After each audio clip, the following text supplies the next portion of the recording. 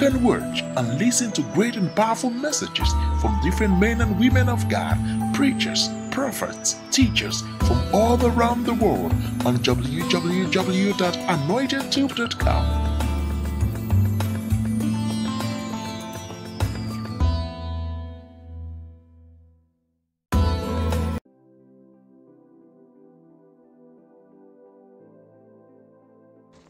Hey there, this is Anointed Tube. Anointed Tube is blessing and changing lives around the world. We are a data hive of videos by preachers, gospel ministers, motivational and financial speakers from around the world. We need your help and monthly donation by clicking on the donate subscription button on the homepage and also on the video page. You choose the amount you want to donate monthly. Nothing is too small or too big.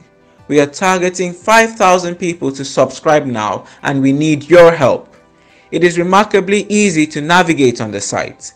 Simply click on the photos of any preachers of your choice in Africa, America or elsewhere shown at the top of the site. Scroll down to see the preachers' pictures. Click on any of the pictures to start watching and catching up with videos from your favorite ministers.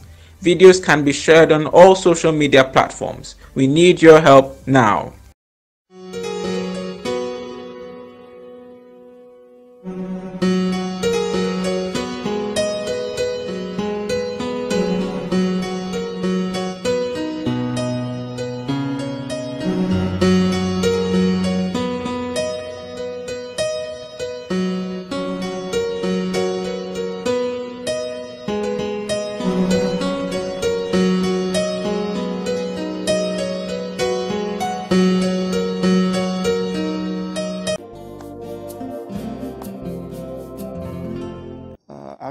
By one.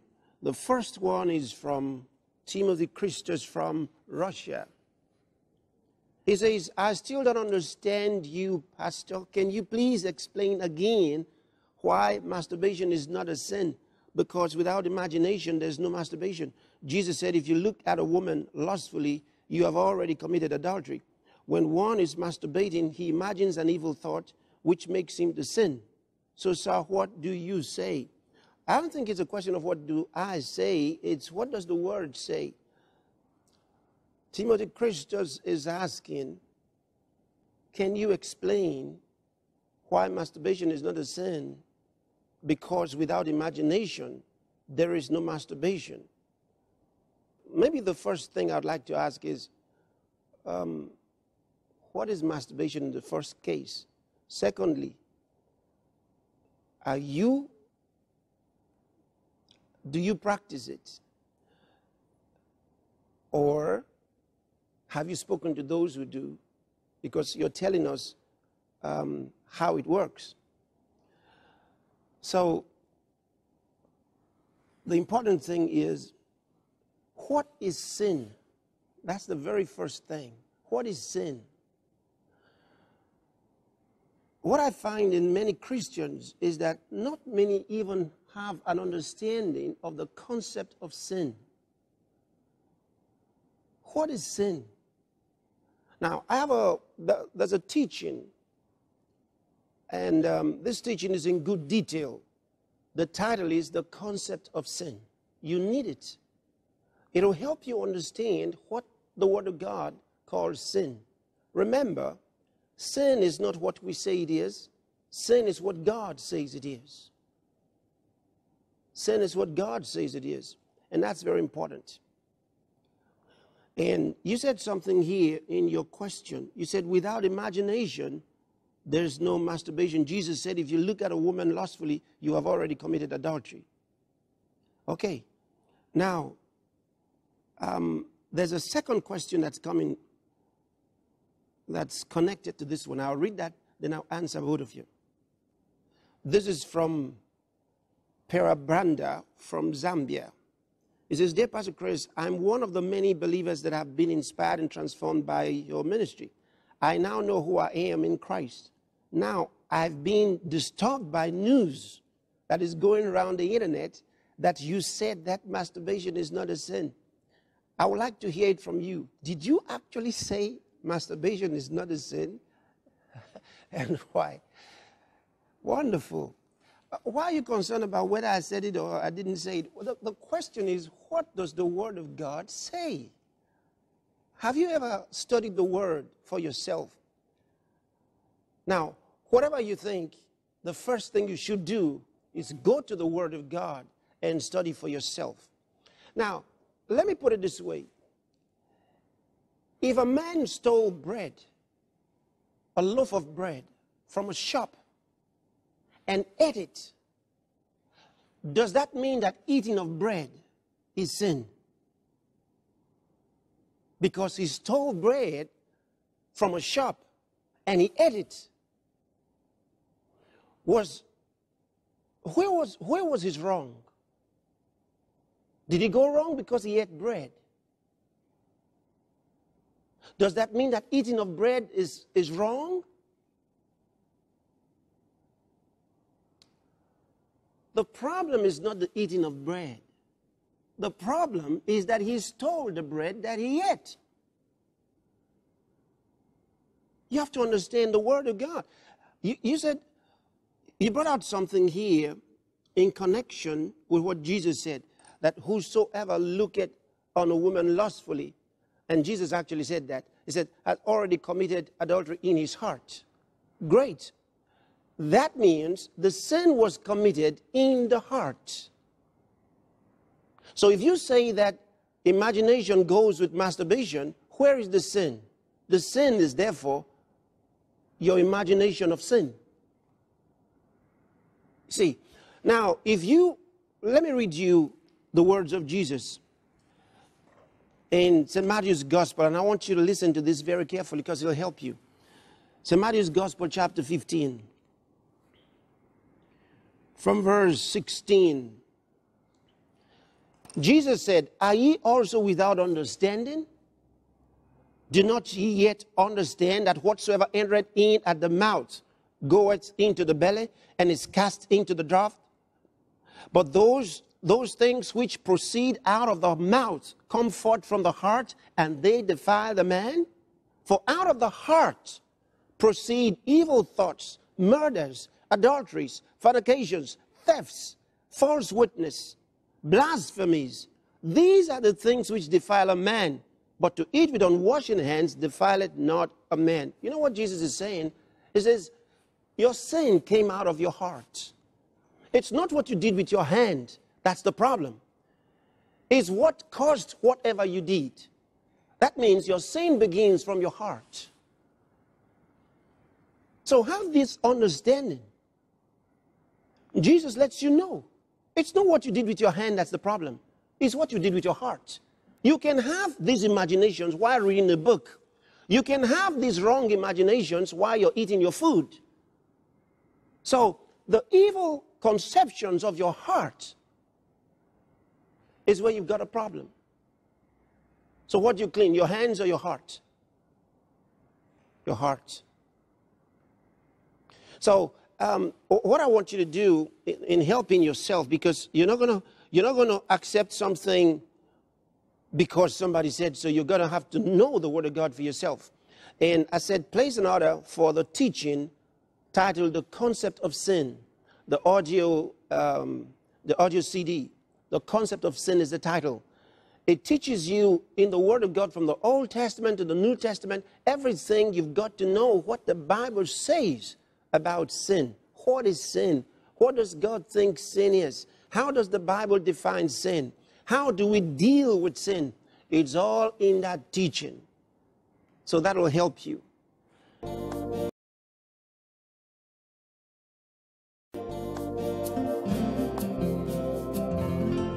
Jajed from Nigeria. Dear Pastor, what are the implications for a couple who are not wedded in church but have fully concluded their traditional rites? Okay, that's very simple. Uh, what are the implications for a couple who are not wedded in church but have fully concluded their traditional rites? There are two things here. Firstly, if that happened before you came to church, then that's not a problem because um, nobody knows about that anyway.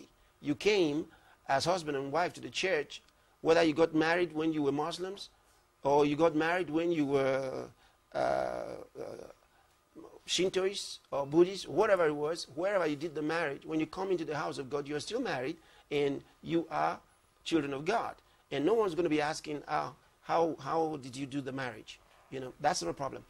So, however, um, if you've come like that, then the church does accommodate you without asking details of how you got married. We don't do that. But if you're already in the house of God, if you're already Christians, and while you are now in the house of God, you decided to get married, and you chose to do the traditional without the church, you got a problem. You're spiting the church, and that's wrong.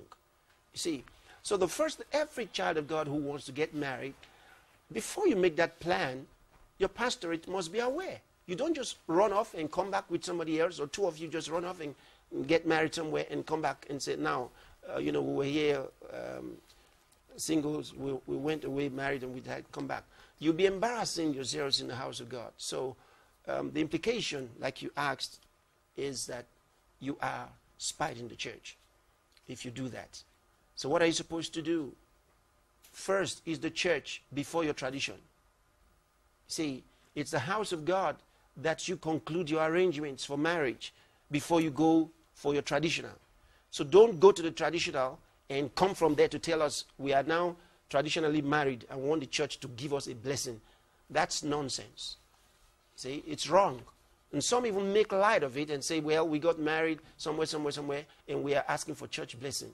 Is, is that all you think it is? Just a blessing? And if it's just a blessing, how blessed, how blessed is that blessing? How much blessing could that blessing be? So think about it again. Um, but if you've already done that, go to your pastor and report yourself and say, We made a mistake and we're here now. Please forgive us. And they will forgive you and tell you what to do. Now, the pastoral ministry is so important. It can never be overemphasized. It's so important because you see, it's in the church that the pastor can let you know how to dedicate your children. You know, because sometimes if you come to church and you find on certain Sundays babies are being dedicated, you don't even know how come. You don't know how the church got to know that they had children. You know, because maybe you've just been a new member or you you come to church only on Sundays and you just hear the announcements. There's a baby a child dedication. You don't know how they got to know. If you're part of the system, if you are in the relevant structures in the church, you will get to know. So if you're new to the church, the first place is once first timers are asked to wait behind or go somewhere to be addressed, go there. That's the first place. You will be addressed on that occasion. Now, once you are addressed as a first timer, you'll be told to start a foundation class. Now, the foundation class, as the name implies, it's the beginning. It's where you get started in the, in the ministry. Then they introduce to you the different aspects of the ministry, different things that you're supposed to do, and your role as an individual and as a member. All of this information will be given to you. Then you get to know when people want to get married, who do they talk to? When people have a, a problem, um, some challenges at work, who do they talk to? You see, all these things will become clear to you through the pastoral ministry and the structure that is given to you in the house of God. Every Christian must be a member of a church. It is compulsory. It is compulsory. Now, if you have some, you know, there are those who say, um, I'm a member of the body of Christ. You say, where do you go to church? You say, I'm a member of the body of Christ. They are indisciplined. And it's stupidity. They're ignorant of the word. And when you meet such people, tell them to go to church and get humble.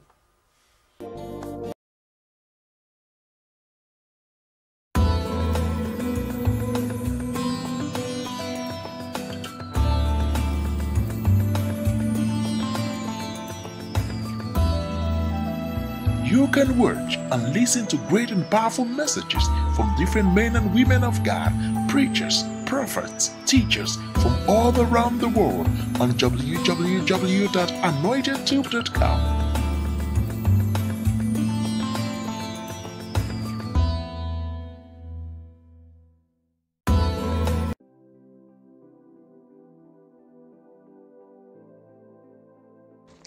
Hey there, this is Anointed Tube Anointed Tube is blessing and changing lives around the world. We are a data hive of videos by preachers, gospel ministers, motivational and financial speakers from around the world. We need your help and monthly donation by clicking on the donate subscription button on the homepage and also on the video page. You choose the amount you want to donate monthly. Nothing is too small or too big. We are targeting 5,000 people to subscribe now and we need your help. It is remarkably easy to navigate on the site. Simply click on the photos of any preachers of your choice in Africa, America or elsewhere shown at the top of the site. Scroll down to see the preacher's pictures. Click on any of the pictures to start watching and catching up with videos from your favorite ministers. Videos can be shared on all social media platforms. We need your help now.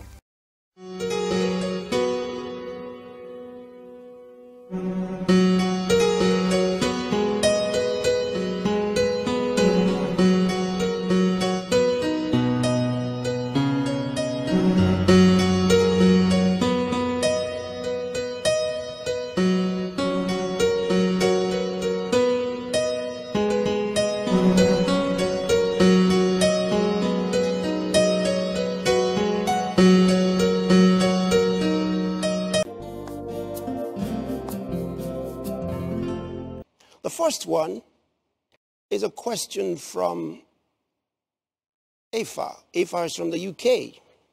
He says, Thank you for your service and commitment to the body of Christ. To see it return to authentic Christianity. And he says, Sir, I have two questions. What is the Christian position on the Grand Lodge? He says in bracket, Freemason. Is it right for a Christian to be associated with one? What does the Bible teach about? Now, this is the second question. His second question is What does the Bible teach about soul ties? Are there good and bad soul ties? If there is, how am I supposed to walk in the light of this in building relationships? Wonderful. So, two questions there. He's asking Is it right for Christian to be a member of the Grand Lodge? He calls Freemason. Uh, and secondly, uh, what does the Bible say about soul ties? You want to say something about Freemasonry? Yes, sir. Okay, thank you. Thank you, Pastor, for this awesome opportunity. It's a great pleasure to be with you on this. Thank you, sir. Um, I'd like to read a scripture before I go on to explain that. That will be from 2 Corinthians in chapter 11, um, reading from verse 13. It says, For such are false apostles, deceitful workers, transforming themselves into the apostles of Christ. And no marvel, for Satan himself is transformed into an angel of light. Therefore, it is no great thing if his ministers also be transformed as the ministers of righteousness, whose end shall be according to their works. Um, this is an occultic group, sir. And um, from what we read from the Bible, as a child of God, we are not expected to be involved in anything outside Christ. And um, a little bit about um, Freemason, it's that um, I found out they have some things they build their religion on. One of such is um, you give opportunity to listen to someone's opinion and live by that person's opinion. And if you, as a child of God, you know you're supposed to live by the word of God, then um, following that sect is not what God has called us to be a part of. Thank you. Mario, you want to say something? Yeah, Pastor. Um, just like Pastor Falabi said, um, if whatever that thing is, even, if- even outside Freemasonry, but whatever it is, if it's not in line with God's word, then it's not something a Christian can be, can be involved in. And yes, they do have opinions, um, set down rules and opinions which don't align with God's word, and therefore uh, Do you know any of such, any of their teachings? Um, a little bit, um, not extensively, but one of the things um, that they believe in is something to do with um, blood, uh, having blood relationships where they cut themselves and they Probably that's why he's also asking about this. that's why he's soul asking about the soul ties, yes, sir. So they, they mix that together, and that's supposed to join them in some kind of a relationship forever. And I also understand that um, you cannot mention the name of Jesus in the in the group. And any, any association that stops you from mentioning the name of Jesus, Yes. uh, I think that um, when you also when you get born again, your values change. The people you associate with uh, change. I mean, you associate with um, the associates of the God kind. So Now, i- i- it's important that you realize that in the world, there's so many different groups. And one group would say they're better than the other group. And um, sometimes people think that until you've been a part of a group, you can't really say much about them. But it's not exactly so. What you need to do is study the Word. Now, in the Bible, he shows us what kind of people to associate with. And all those people have the same way of life, really, because our, our purpose is to live like Jesus Christ. And he's our model. In Freemasonry, Jesus Christ is not their model. See, you've got to be smart about this. Jesus Christ is not the model. And the, their teachings are based on other materials, not on the Bible and the teachings of the apostles and prophets of Lord Jesus Christ. Now, in our discipleship training programs, we study about other groups. We have in-depth study on these other groups. So we're not just speaking widely. We've got adequate information on these groups. And this is not a forum for us to um, give you all of that information. I would say that you attend the discipleship training programs when you have one at your church. We organize these programs uh, regularly. So make sure you're part of it and you get to learn more. But from here, I can say to you that any group that's not headed by the Holy Ghost in the name of Jesus Christ with the teachings of the Bible according to the prophets and apostles of Jesus Christ, we're not supposed to be a part of any such group. And then secondly, you're asking what does the Bible teach about soul ties? The Bible doesn't, doesn't teach about soul ties. What it talks about soul ties is our tie with the Lord Jesus Christ. It says anyone who's joined to the Lord is one spirit. That's all the soul tie it teaches about. How we're tied to the Lord Jesus Christ through the Spirit. Now, if you're talking about these false teachings about people who um, think that they are soulmates and all those kind of teachings, it's all false doctrine. People are not connected together in this world by themselves and to themselves. No, our connection is to the Lord Jesus Christ. And that's what makes us, that's, that's what brings the rest of us together. It's our oneness with Christ that brings our oneness with one another. If, we if someone doesn't have that oneness with Christ, we don't have that oneness with Him. So there's no such thing about this kind of soul ties teaching, teaching about. It's all false doctrine. You better be careful. The Bible doesn't teach about soul ties outside the tie that we have with Jesus Christ, based on our new birth through the Word of God. So no soul ties, no soul mates horizontally. That means among human beings outside of Jesus Christ. So you don't need to find out how you're going to run your relationship with the teachings on soul ties. Run your relationships on the basis of the Word of God. That's what you're supposed to do.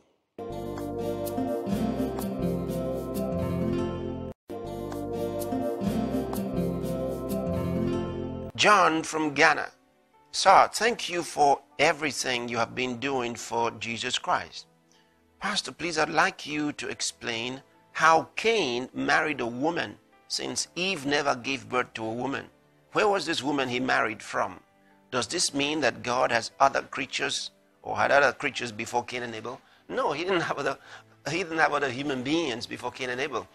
Um, he married one of uh, uh, one of the daughters of Adam and Eve. You didn't, you didn't study it fully. That's why you thought that they didn't have any daughters. They did. Now, I should just read that to you from Genesis chapter 5 and verse 4. It says, And the days of Adam after he had begotten Seth. Seth was the son after uh, Cain and Abel. It says, And the days of Adam after he had begotten Seth were 800 years. And he begat sons and daughters. See, he had sons and daughters after Seth. So that lets you know that um, he didn't have only boys, he had daughters. Okay.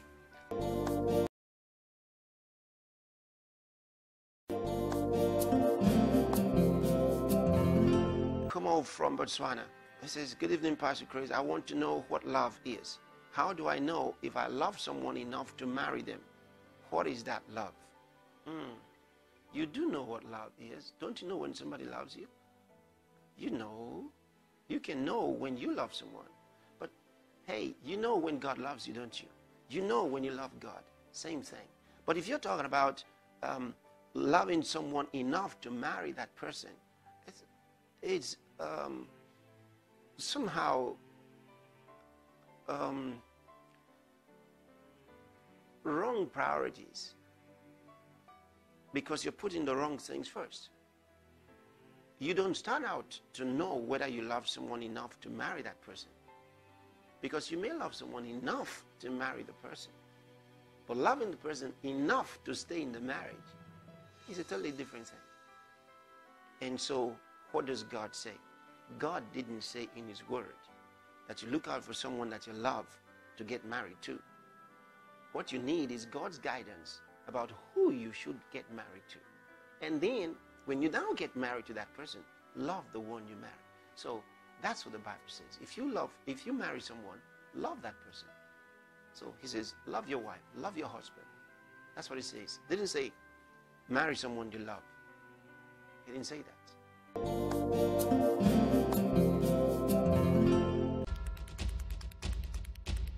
Quick vote question of the week. We gave you four options, and these are, are sickness is from the devil, and you didn't choose that praying for the dead. You didn't choose that. Was the death angel in Exodus from God? And you didn't choose that. Then you chose can two souls be spiritually connected? Now, these are questions we've selected from the several questions we get, and we'll try to put them to vote. So the one you vote the most for is the one we will pick among those several questions. And this is the one you picked. Now, the question really is according to Bible scholars, the connection in the soul realm between two people is referred to as a soul tie. It links their souls together and can bring forth either beneficial or negative results. How true or scriptural is this? Can the relationship between David and Jonathan in the Bible be referred to as a soul tie? Firstly, it is unscriptural. The doctrine of uh, having soul ties and soulmates is it's actually demonic. It's some kind of demonic teaching. It's it's um, uh, they may lift it from the scripture, but it's a misleading doctrine. And I'll explain that to you very simply. Sometimes, what they mean by this soul tie is that God has connected certain people together in the realm of the spirit. And so you have this mate in the realm of the spirit, and that um, you've got to locate that spiritual mate or someone that God has died to you in the spirit realm. And that until you locate such mate or whatever these ties are connecting, you may not be successful or things may not work out for you and so on and so forth. And they lift their teaching from the story of uh, David and Jonathan. Incidentally, the two of them were young men. I want to read that to you.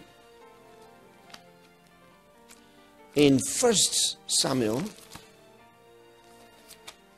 chapter 18 Verse 1 And it came to pass when he had made an end of speaking unto Saul that the soul of Jonathan was knit with the soul of David, and Jonathan loved him as his own soul. That was repeated for us um, in scripture. Let us know how Jonathan loved David as his own soul. He says the soul of Jonathan was knit, that means tied, that's the same word, with the soul of David. Now, that should not be confusing in any way. It just means that he loved David. That's what he's trying to stress. You see, that's just what he's trying to stress. And when he uses the word soul, he's not trying to deal in the realm of the spirit, but letting us understand, for example, you know, man is a spirit, he has a soul, he lives in a body. Now, the soul is the seat of the mind, the emotions, and the will. See that? So the mind and the emotions are connected with love. And so he appreciated this David. He was the prince. Remember, he was the heir apparent to Saul, his father's throne. And um, he just loved David after David slew Goliath. He took interest in him. See, so uh, the, the construction that the soul of Jonathan was knit with David's soul doesn't refer to the doctrine of a soul tie, but that he loved him. See? And the word soul there being introduced is not trying to talk about something in the realm of the spirit, but that his mind was on him and his affection. See, so he's dealing there with affection. Now, if you go over to the New Testament, you will see the same thing. So it's not an unusual situation at all. In fact, for us, for all of us as Christians, God expects that what you might want to call a soul tie, if it's a soul tie, then He wants every one of us to be tied together in the soul. But um, not in the not in the kind of doctrine that's being pushed around. Colossians chapter 2, from verse 1 For I would that you knew what great conflict I have for you and for them at Laodicea, and for as many as have not seen my face in the flesh, that their hearts might be comforted, being knit together in love. That's the word again. Being knit together. And they pick the word tie. But it just means being brought together in love and on to all riches of the full assurance of understanding to the acknowledgement of the mystery of God and of the Father and of Christ. So that's what he's talking about. That our, you know, that, that their soul, talking about the brethren in that church, and that same thing for all of us, that our soul be knit together, that our, that we all be knit together in love. That means having one mind. If you study in Philippians, it said the same thing. It says to have one mind and one purpose, pursuing the same thing, striving together for the faith of the gospel. You see, so um, when you go back to Jonathan and David, that's exactly what he was looking at. The fact that Jonathan had affection. And the Bible says we should be kindly affectioned one to another. So that's what he's teaching. He's not talking about something in the realm of the spirit. You're looking for a soulmate of some kind. That doctrine is, uh, is not from God. So he's already brought us together in Christ Jesus, and um, it can be stronger than that.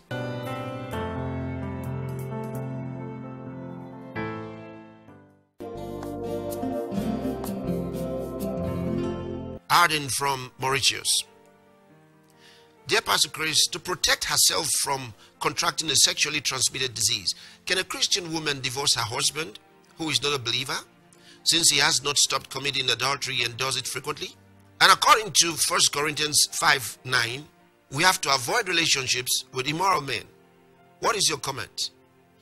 Well, very simple. If you would turn into 1 Corinthians chapter 7, it says from verse 10, And unto the married I command, yet not I, but the Lord, let not the wife depart from her husband. But, and if she depart, let her remain unmarried or be reconciled to her husband. And let not the husband put away his wife. So, if you have a, a serious situation like this, it's simple. If you want to depart from your husband, the Bible says you can. He tells you not to. And then he says, but if you do, you remain unmarried. Otherwise, be reconciled to your husband. That's what the Bible says. So, um, count the costs of what you want to do before you do it.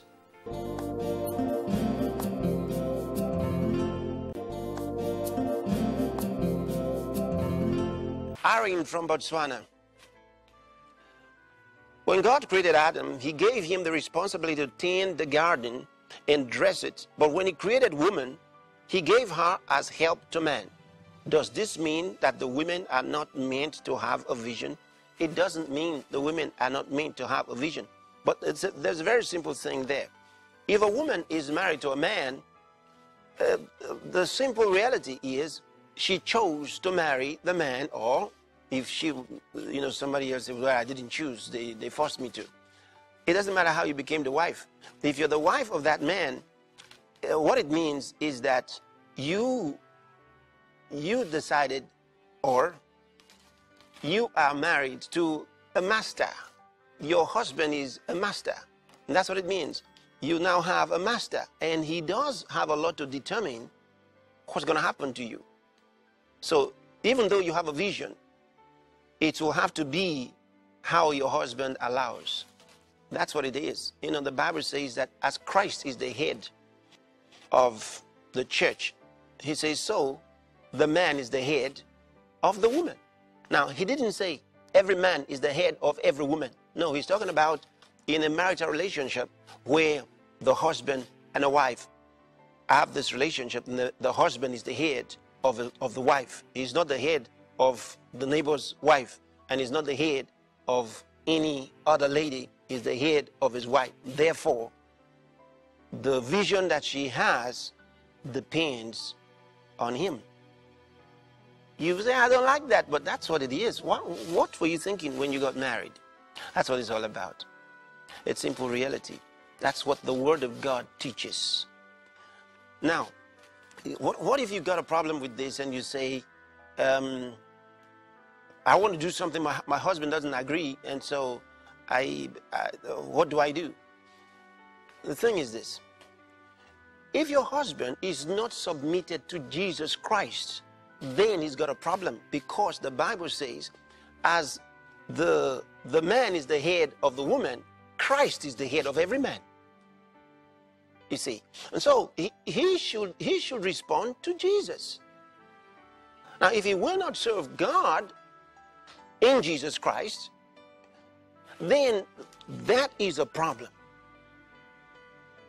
But you see, there are several reasons that things like this, you know, problems like this happen. And I, I don't want you to say, oh, yeah, yeah, yeah, that's my situation.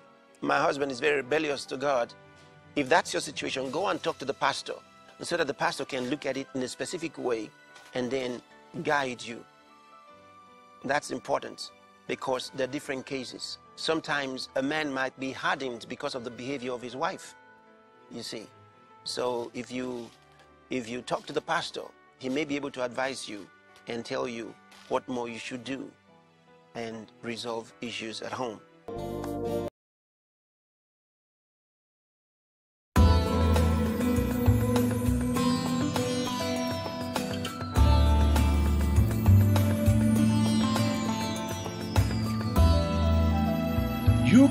watch and listen to great and powerful messages from different men and women of God, preachers, prophets, teachers from all around the world on www.anointedtube.com.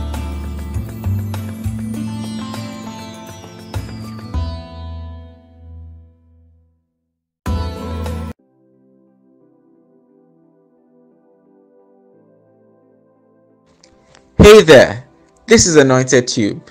Anointed Tube is blessing and changing lives around the world. We are a data hive of videos by preachers, gospel ministers, motivational and financial speakers from around the world. We need your help and monthly donation by clicking on the donate subscription button on the homepage and also on the video page. You choose the amount you want to donate monthly. Nothing is too small or too big. We are targeting 5,000 people to subscribe now and we need your help. It is remarkably easy to navigate on the site. Simply click on the photos of any preachers of your choice in Africa, America or elsewhere shown at the top of the site. Scroll down to see the preachers' pictures. Click on any of the pictures to start watching and catching up with videos from your favorite ministers. Videos can be shared on all social media platforms. We need your help now.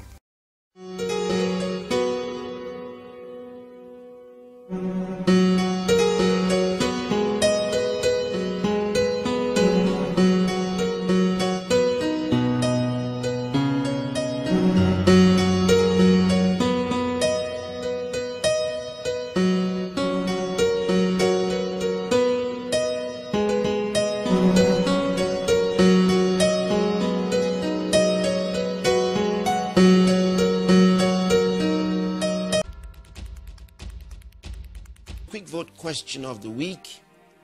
We gave you four options, and these are, our all sicknesses from the devil, and you didn't choose that. Praying for the dead, you didn't choose that. Was the death angel in Exodus from God, and you didn't choose that. Then you chose, can two souls be spiritually connected? Now, these are questions we've selected from the several questions we get, and we'll try to put them to vote. So the one you vote the most for is the one we will pick among those several questions. And this is the one you picked.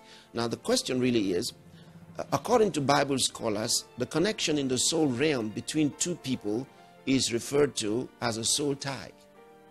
It links their souls together and can bring forth either beneficial or negative results. How true or scriptural is this?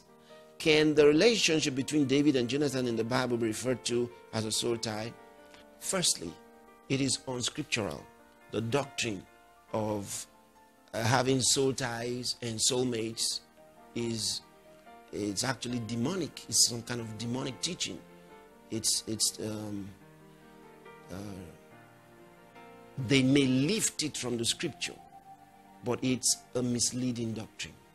And I'll explain that to you very simply.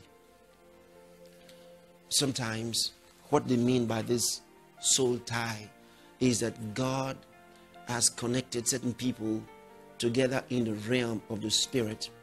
And so you have this mate in the realm of the spirit, and that um, you've got to locate that spiritual mate or someone that God has died to you in the spirit realm. And that until you locate such mate or whatever these ties are connecting, you may not be successful or things may not work out for you, and so on and so forth.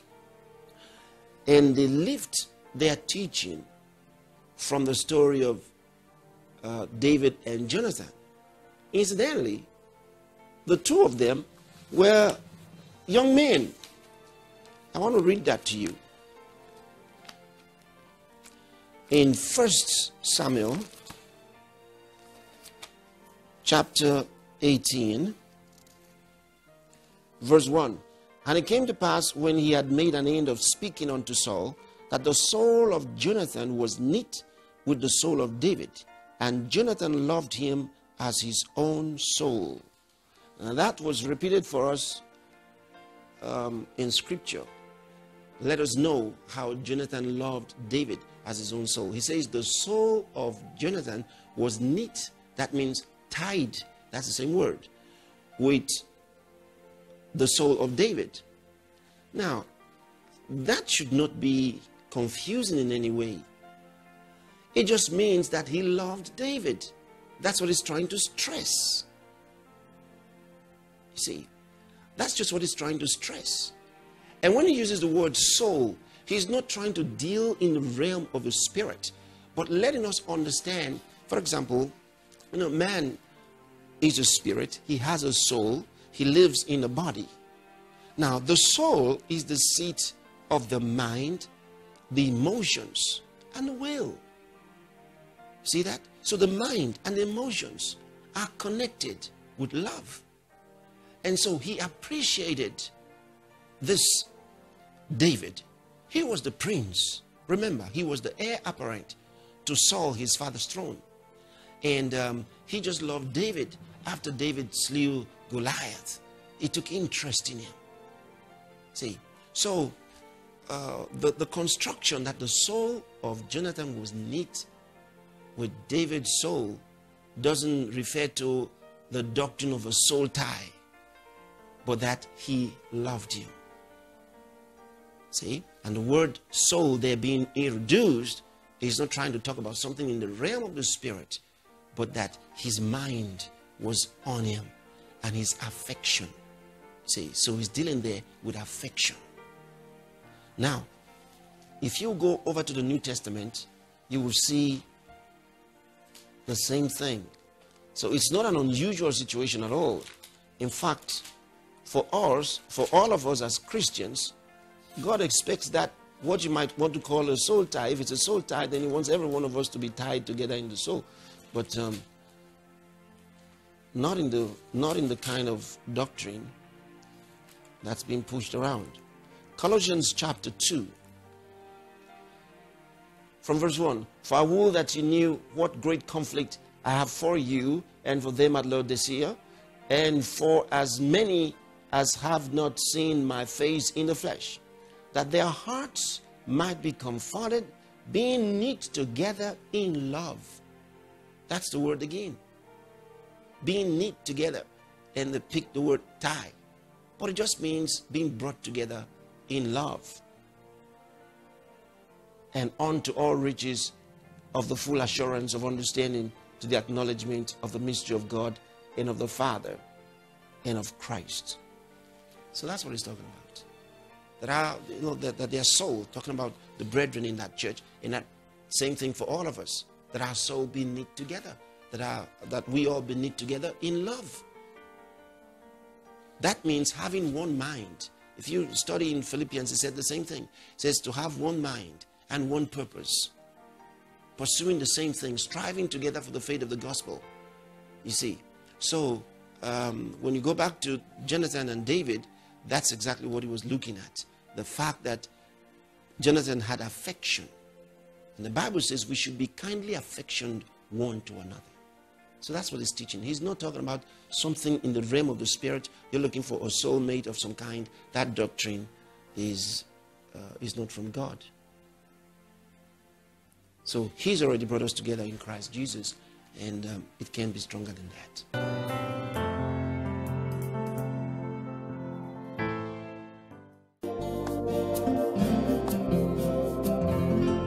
Sarah from Namibia. Dear Pastor, thank you for your answer on winning a gay person to the Lord.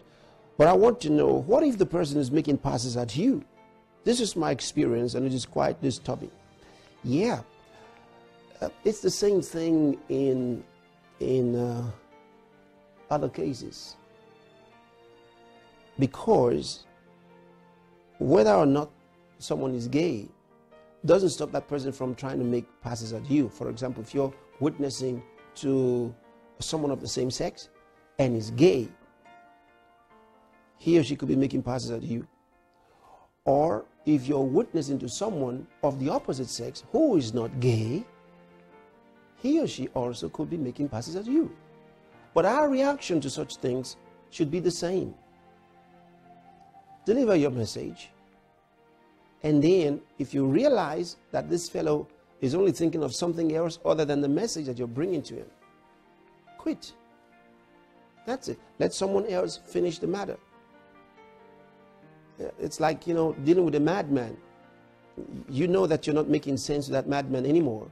You got to stop and intercede for that one. See, because if you're talking to someone about Jesus, what you want is some, um, you want that individual to be reasonable enough to listen to you. But if he or she is not reasonable to listen, chances are they can't believe when they're not listening. So um, we react the same in both cases. You don't get angry, you don't get mad, but you see, you, you just can't go on because um, that individual is thinking of something totally different. And so someone else got to finish that job. Often we do this um, because a lot of uh, a lot of those who witness and meet people like this are often young Christians. And while they're still growing, we've got to help them uh, protect themselves from uh, crooked characters. And that's very important. But when you're a lot more mature than that and uh, strengthened, fortified from within, you also know how to deal with such people. You know, you, you know what to say, you know what to do. Uh, you tell them out of it. So you let them know that thinking is wrong. And the gospel helps them recognize that as you share the word. So you really don't run away.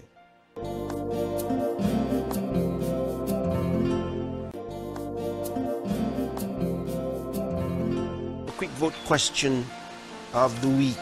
We give you several options, four options. The first one, why did God create us? You didn't choose that. Is it right to swear or take an oath? You didn't choose that.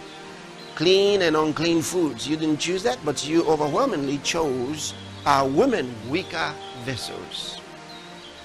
Some Bible scholars often use 1 Peter chapter 3 verse 7 to buttress their teachings in referring to women as weaker vessels. Does the Bible truly support the stand that women are made to be dominated by men or be housewives or childbearers? All right, let me read the exact place for you. And then let's see the context. It's in 1 Peter chapter 3 verse 7. Likewise, ye husbands, dwell with them according to knowledge, giving honor unto the wife as unto the weaker vessel, and as being heirs together of the grace of life, that your prayers be not hindered. Very simple. He didn't say, he didn't say as unto the weaker persons. He didn't call the women weaker persons. He said weaker vessel. That means uh, uh, it's indicative of something. What do you use a vessel for? What do you use a vessel for? You don't wear a vessel, do you? No. What do you use a vessel for? Use a vessel to carry something. That means he's saying to you, as weaker vessels, you should honor them with letting them do less physical work. That means less strenuous work. They should not carry heavy things. That's all he's talking about. That's all he's talking about. He uses the word weaker vessels, not weaker persons. If he had said weaker persons, then all these other things they're talking about would have been true. But he didn't say weaker persons, but weaker vessels. That means what you use them for should be less strenuous than with men.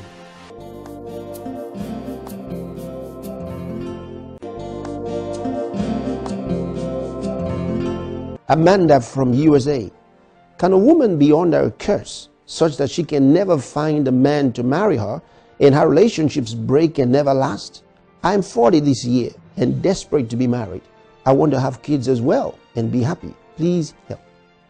Firstly, doesn't mean that um, if you get married and have kids, you will be happy because you want to be happy. Now, those are not things that make people happy. So, get that point. It's very important. The people who have children, they're not happy. The people who, have, who are married, and they're not happy. So those things don't bring happiness. But if you're asking, can a woman be under a curse? Yes, a woman can be under a curse. Anybody could be under a curse.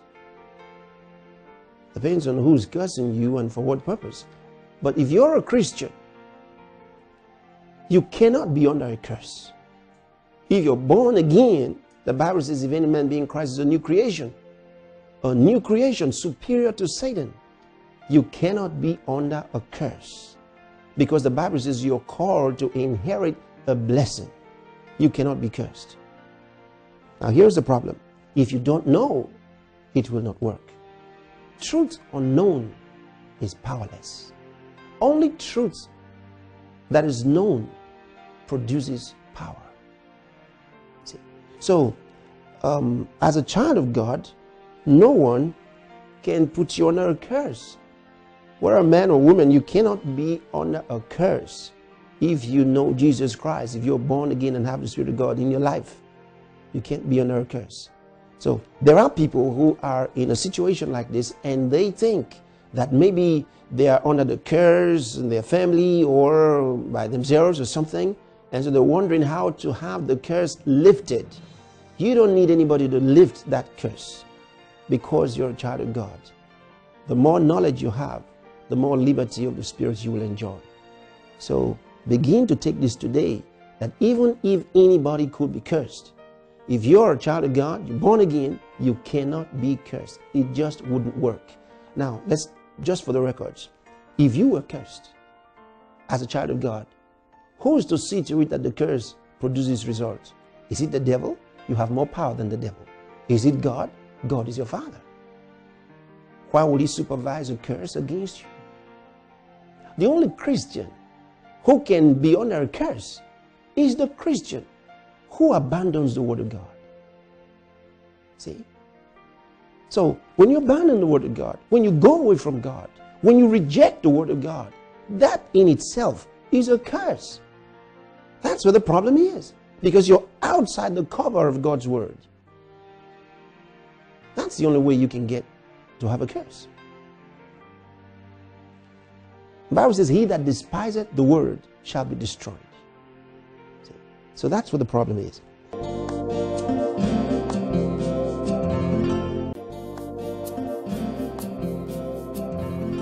Megan from Canada. Does God recognize all marriages? Does God ever disapprove of a marriage union, thereby nullifying the marriage spiritually, even though the couple got married legally? God doesn't approve or disapprove of marriages. Marriages are man made. Um, individuals decide to get married. And so it's got nothing to do with God approving or disapproving. So the Bible doesn't tell us that God will disapprove of someone's marriage after the marriage has taken place and then nullify it spiritually. See, so that's not God's job. You have to understand that in a marriage, you've um, you've bound yourself in a union to somebody, and that means that you've uttered words that God holds you over. You see, so um, that's an important thing you have to consider. The thing is, does God um, approve of a marriage to a chimpanzee? Does God approve of a, a, a, marriage of a man to a man, a woman to a woman? These are the things you may be asking.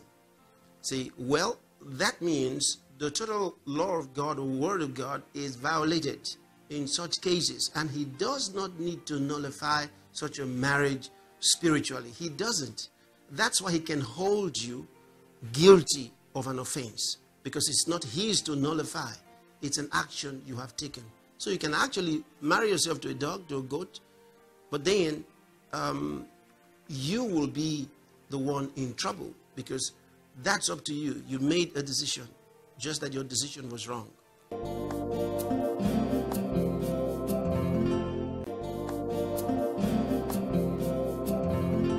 Winnie from USA. I would like to ask concerning homosexuality. What does God say about the lesbians and gay people? Is it God who made people to be like that? Because psychology tells us that some of those people are born bisexual and their sexual intercourse abnormal. All right, let me read. I've got several scriptures to read to you, and this will be very instructive. The first one will be from Romans chapter 1. For the invisible things of him from the creation of the world are clearly seen, being understood by the things that are made, even his eternal power and Godhead, so that they are without excuse. Now, what he's saying is this that the invisible things of God can be understood by visible things around us. In other words, you look at natural things of life and you can have an idea what God's real will is, is and how to interpret spiritual things. Some spiritual things. All right. Now, verse 21. Because that when they knew God, they glorified him not as God, neither were thankful, but became vain in their imaginations, and their foolish heart was darkened. Professing themselves to be wise, they became fools. Now, notice He's talking about a certain group of people who rejected God in their minds. I want you to notice what he says. Verse 22 Professing themselves to be wise, they became fools and changed the glory of the uncorruptible God into an image made like to corruptible man and to birds and four footed beasts and creeping things.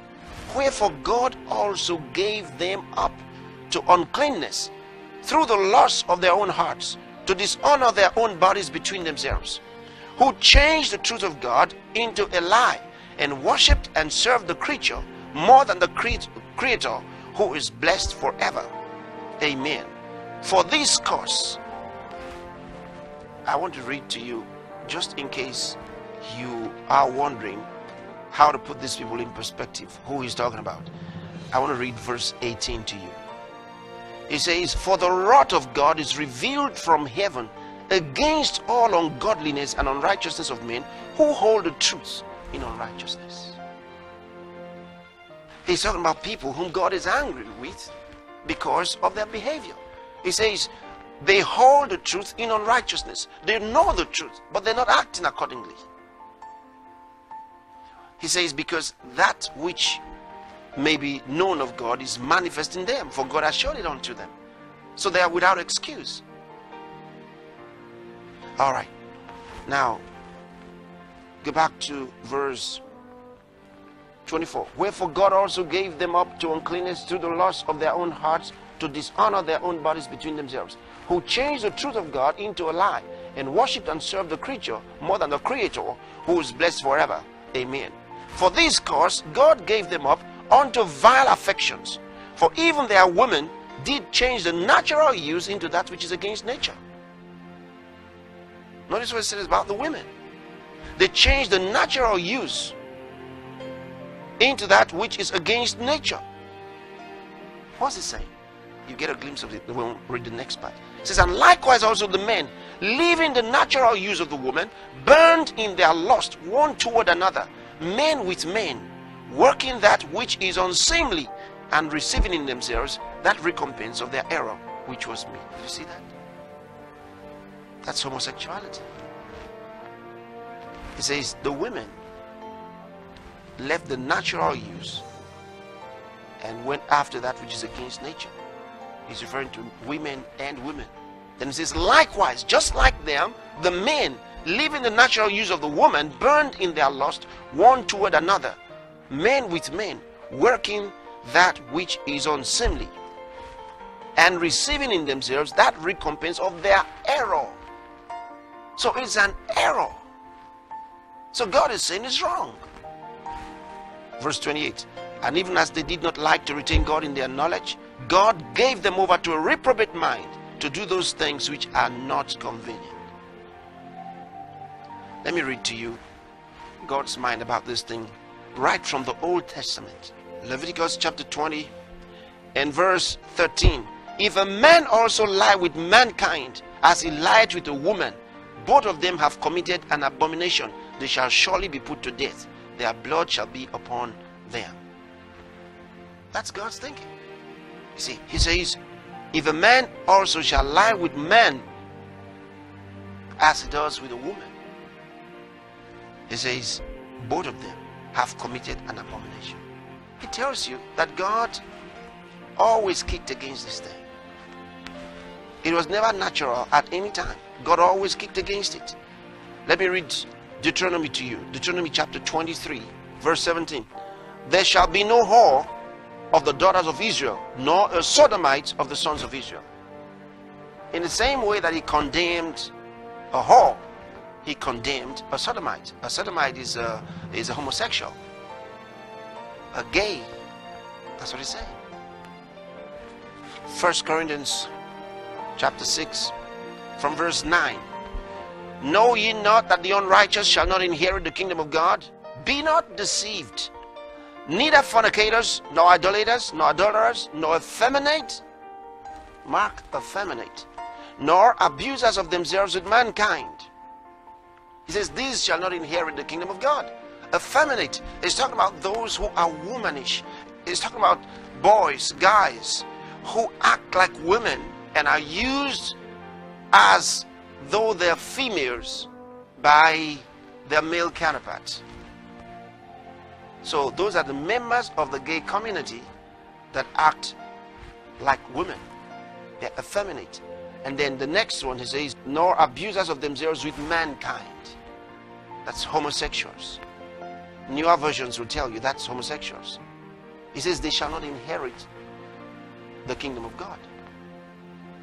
I think that that's really strong. So God didn't make them to be like that, and it is not uh, a deformity of some kind. It is a mental deformity rather than a physical problem. And if you have a problem with uh, homosexuality, you need prayer. You need, you need that devil to be cast out of you, cast out of your mind, because it's, it's devilish, it's demonic, it's an oppression of the mind. You need to reject it, not to accept it. Don't have an explanation for it. From the scriptures I've read to you, God is absolutely against it. So don't explain it away.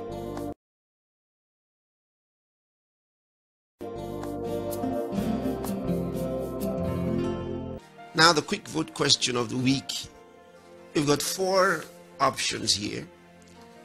Number one, what happens to animals when they die? Number two, resurrection of the dead at the rapture. Number three is the belief in stigmata scriptural. And then uh, number four, is there anything like a spiritual husband or wife? And you chose the last one here. Is there anything like a spiritual husband or wife? Now, many have been in situations where they believe they have a spiritual husband or wife. They say these people come to them at night, and as such, they are unable to get marriage partners. How authentic is this? Or is it an illusion? It's not an illusion, um, it's an experience of certain people. It's a spiritual experience, really. But these are experiences with demonic personalities. The truth is, there is no such thing as a spiritual husband or wife. But demon spirits who um, oppress and manipulate individuals who are ignorant or who have grown up under some demonic influences. And so these demons continue to oppress them, lie to them, and um, uh, manipulate their minds. So it's not an illusion, it's a real experience. But every Christian, whoever finds himself in such a situation, must learn to cast out devils. You reject the authority over you because Jesus Christ is Lord of your life, and these demons have no power over you. And you must demand that their manipulations and um, uh, activities in your life must stop. If you demand that they stop, they will stop.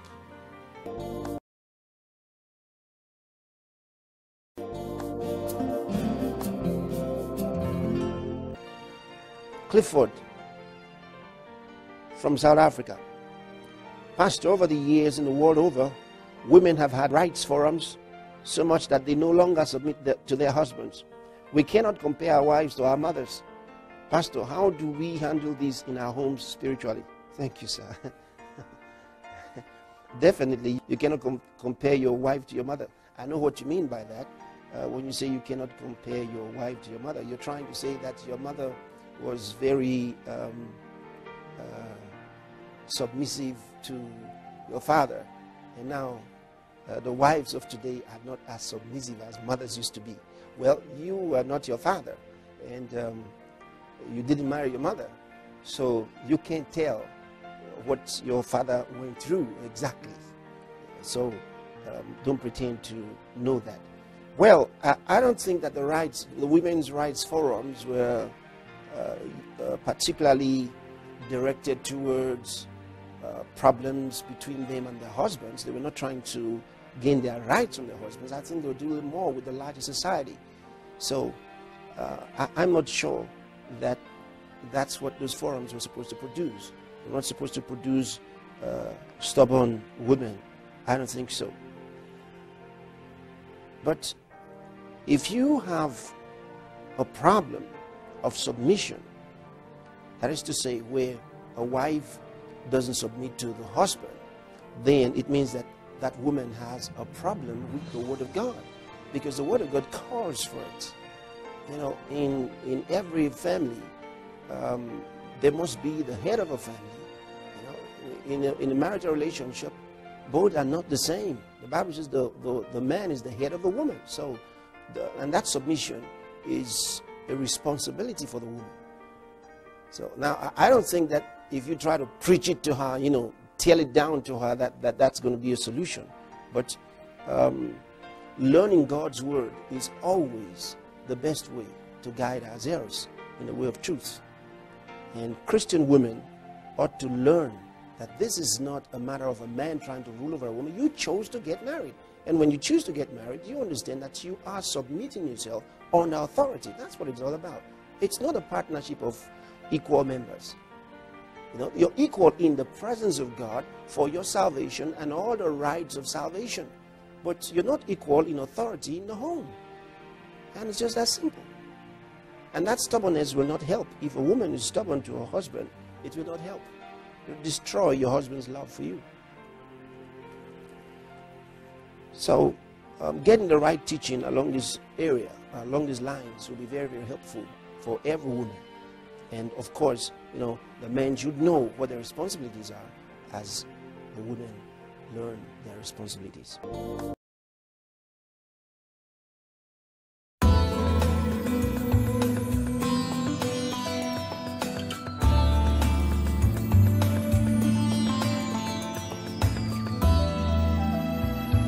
Watch and listen to great and powerful messages from different men and women of God, preachers, prophets, teachers from all around the world on www.anointedtube.com.